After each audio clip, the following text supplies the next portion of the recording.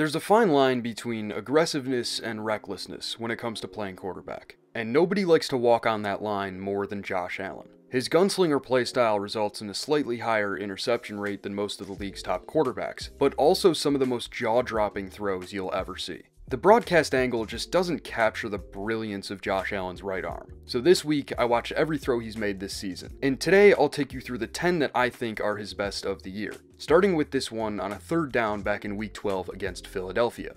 Pre-snap, the Eagles show a double mug look with man coverage behind it.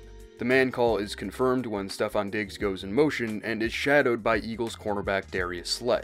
Joe Brady's answer to this man-free look from the defense is quick inside breaking routes from all three receivers lined up to Allen's right. To account for all six defenders on the line of scrimmage, Buffalo puts Latavius Murray in a sniffer alignment, which gives the offense even numbers in pass protection. But by the time Allen reaches the top of his dropback, none of his receivers have enough separation to be targeted, and two pass rushers are closing in from opposite sides.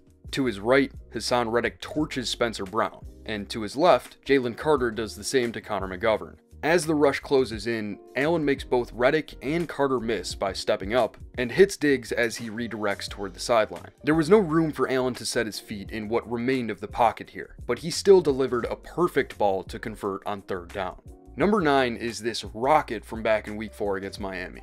The Dolphins sent a six man blitz with man coverage behind it from this ambiguous pre snap look, and the offense made a half slide protection call to the right. Usually when you see a defender in the B gap covering the guard on the man side of a half slide call, the guard will be responsible for that defender. But here, the guard is included in the slide. I'm not totally sure why the guard slides here, my best guess is that the offense didn't consider the guard to be covered because the defender was walked up in a two point stance. Either way, when that B gap defender rushes, James Cook is forced to pick him up. Now, Allen knows that he has Diggs on an 18 yard comeback to his left, so instead of abandoning structure, he keeps the play alive by shuffling to his left before hitting Diggs on the sideline. From the all 22 angle, you can see how great Allen's timing was here. He began his throwing motion before Diggs broke back to the ball, and despite the inability to set his feet, he put it right on his receiver's number. At number 8, I have this first down from late in Buffalo's Week 7 game against New England. Pre-snap, the Patriots show a clear cover zero look with no deep safety and 8 defenders in the box. Even with Dalton Kincaid and Latavius Murray in pass protection, the defense still has an 8 on 7 numbers advantage up front, so someone is getting in unblocked. Buffalo's solution to this zero look is to be extraordinarily aggressive by calling a vertical route concept.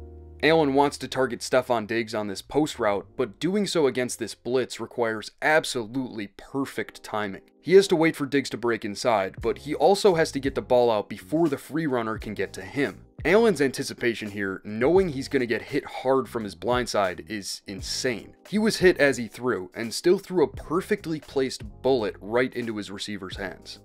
Number 7 came in a do or die situation back in week 5 against Jacksonville. The Jaguars called a soft Tampa 2 coverage, and the Bills went with a simple verticals concept. The inside slant from Travon Walker on the edge allowed Allen to break contain before even reaching the top of his dropback, and he rifled this one to Gabe Davis on the move. You might notice that Jaguars cornerback Darious Williams got caught off guard by this throw and that's because Allen wasn't looking at Davis. From the tight angle, you can see that his eyes were glued to Deonte Harty until he began his throwing motion. That eye manipulation, along with the placement of this ball, gave Davis a huge advantage over Williams in the battle at the catch point. Next up is this beauty from two weeks earlier against Washington. It's third and eight, and the Commanders are showing cover zero against an empty backfield. Both Dawson Knox and Latavius Murray are assigned to check in protection before running routes, which prevents a free runner, delaying Washington's blitz. Allen wants Diggs all the way on this stop route, but Montez Sweat's massive frame is in the throwing lane, which forces Allen to extend. Fading away from the line of scrimmage with the rush closing in, Allen delivers a perfect ball to Diggs deep downfield outside of structure. From the tight angle, you can see how insane the placement of this ball was. He threw it just before Sweat could get to him and placed it just inches away from the defensive back's outstretched arm. In fifth place is this chaotic, gotta have it third down from last week against the Chargers. LA's pre snap structure indicates a somewhat ambiguous cover zero look. Both safeties are deeper than they would be in a typical zero look, but they're also both capping the apex defenders. Meaning they're lined up directly behind those defenders in line with each of the number 2 receivers. This usually means that the cap defender is blitzing, which would make this an all-out zero blitz. Allen knows what he's seeing, and his counter is to target James Cook hot.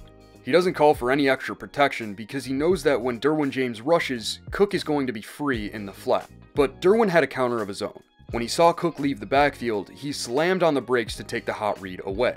At this point, the play is dead. You've got free runners coming from every direction, you've got defensive linemen falling back into the low hook, and you absolutely cannot take a sack. For everyone in the world not named Josh Allen, the only option here is to throw the ball away. But somehow, he sees the two defensive backs trying to cover this downfield switch concept get caught in traffic, and finds Khalil Shakir's back shoulder while fading away. It feels like a crime to put this in the number 5 spot, because I think you could make a solid argument for this being the throw of the year. And that's how good these last four are. Number 4 is this classic ball don't lie moment in week 12 against Philadelphia following the ref show at the end of the first half. Buffalo went empty and got a zone coverage identifier with James Cook out wide matched up with a cornerback. The key route combination here is a drive concept between Diggs and Shakir. It's designed to vertically stretch the will linebacker into a bind, and it works as it was intended. The will took the high read and left Shakir open underneath. You might want Allen to hit Shakir here, but it's important to understand the situation. There are less than 20 seconds left in the half, and Buffalo only has one timeout, so if Allen hits Shakir, they only get one more chance to score before the half. Instead of taking that chance, Allen takes the high read by hitting Diggs in the end zone. From the tight angle, you can see how perfect this throw was in every way. If he throws it any earlier, Zach Cunningham has a chance to make a play on it. Any later, Reed Blankenship makes a play on it. If the ball is placed any lower, it's in the turf. And if it's any higher, Kevin Byard has a chance to contest it. I know I've used the term perfect to describe a lot of these throws, but this one truly could not have been any better. At number 3, I have this anxiety-inducing mess of a play from Buffalo's Week 14 game against Kansas City. On 3rd and 9, Kansas City called man-free cover 1 and Buffalo called a concept known as Sail X Dig, which is exactly what it sounds like. A sail concept on the three receiver side and a dig from the isolated X receiver. The protection call is a half slide to the offense's right, and just like on the play I showed you earlier against Miami, the back is responsible for the B-gap defender on the man side of the call. Kansas City made a great TE stunt call here, which told number 54 Leo Chenal to penetrate and number 90 Charles Omenihu to loop. With his eyes locked on Omenihu, Dion Dawkins was caught off guard by the stunt call, and allowed Chenal to break into the pocket before Allen could set his feet. From the all-22 angle, you can see how dead this play looked when Allen left the pocket. He was under pressure before the concept could develop, and every route was breaking in the opposite direction. The running back, Latavius Murray, who was initially kept in to protect, worked upfield as Allen inched closer to the sideline. And somehow, Allen kept this alive for just long enough to give Murray a chance while taking a hit as he fell out of bounds. Of course, the play had to end with Murray dropping the football before he was touched, because the Josh Allen experience can't just end with Josh Allen. At the number 2 spot, I have this dot from all the way back in week 2 against Vegas. The Raiders called man free cover 1 and brought Robert Spillane as the fifth rusher. Post snap, Maxx Crosby torches Spencer Brown out wide, and Spillane gets in free. When he feels the pressure, Allen wants to scramble because he knows that he isn't accounted for against man coverage. But in an effort to pick the free runner up, O'Cyrus Torrence abandons his assignment, and the lane that Allen wanted to exploit is no longer there. So instead of running into a sack, he slams on the brakes and puts the ball right on Khalil Shakir while fading away. The placement was perfect under heavy pressure, and Shakir took it across the goal line for 6. And finally, the number one spot belongs to Allen's game-winning touchdown pass to Quintin Morris in Week 6 against the Giants. It's second down in the red zone, and Buffalo gets a pre-snap man identifier by putting Morris on the outside. The defender lined up opposite Morris is Giants safety Dane Belton, and when a safety lines up out wide opposite a tight end, the defense is almost always in man coverage. In response to the man ID, Buffalo called a rub concept between Morris and Dawson Knox. Morris is coached to create traffic among the man defenders, allowing Knox to get open in the flat. But Xavier McKinney does a nice job of navigating through that traffic by working over the top of the rub route. Allen knows that a quick throw to Knox isn't likely to generate a positive play, so he checks off in favor of the backside. Leonard Williams beats Dion Dawkins before Stefon Diggs separates over the middle, which forces Allen to abandon structure. While rolling right, he throws a pinpoint accurate bullet to Morris in a tight window, but you really need to see the tight angle to appreciate the insanity of this throw. Attempting to fit this ball in between the man defender and the post safety is psychotic, and doing so late in the fourth quarter of a close game makes this Josh Allen's best throw of the 2023 season.